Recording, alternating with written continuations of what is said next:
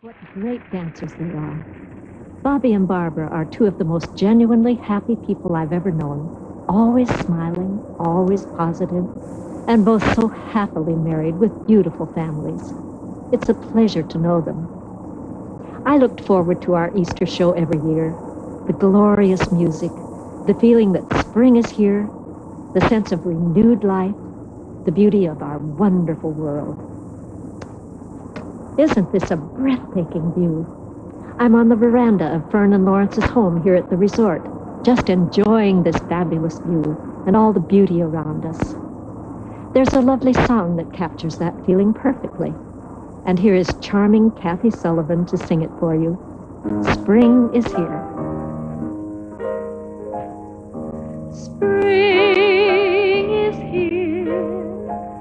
Why does my heart go down?